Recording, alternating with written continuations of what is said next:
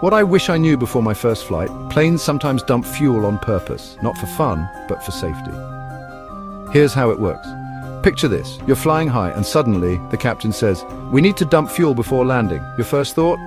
Wait, is that even safe? Here's the deal. Big jets like the Boeing 777 take off super heavy with full tanks, but sometimes if there's an emergency and they have to land right away, they're simply too heavy to land safely.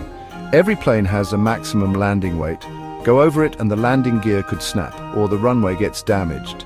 That's where fuel dumping comes in. Inside the wings are special nozzles. The pilot flips a switch and fuel sprays out as a fine mist. At cruising altitude, the fuel turns into vapor and floats away, so it almost never reaches the ground as liquid. Is it dangerous? Not really. Over 90% evaporates long before hitting the ground, and pilots avoid dumping near cities or water. Here's the wild part. Most pilots will never dump fuel in their entire careers. It's that rare. So next time you see a plane leaving a strange trail, remember, it might just be a high-tech safety move, saving lives in real time.